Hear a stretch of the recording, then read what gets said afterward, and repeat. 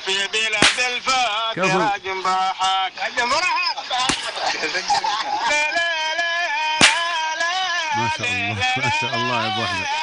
أنا قلت لا عادك تعرف؟ كم لنا ما قد حمينا. لكنها عادت بجمال. والله 30 سنة وتركناها والله إنها ما تترك. والله إنه من عيب الإنسان إنه يترك مزارعه أسمع غبرة دامرة. أقل ما هناك يزرعها يخرج هو وعواله أو هو وأسرته بكاملهم يتفرجون على نعايم الله اللي هي أعطاها. صحيح. هذه نعمة من نعم الله خليناها. والله هجرناها والله إن ما هي جمالة.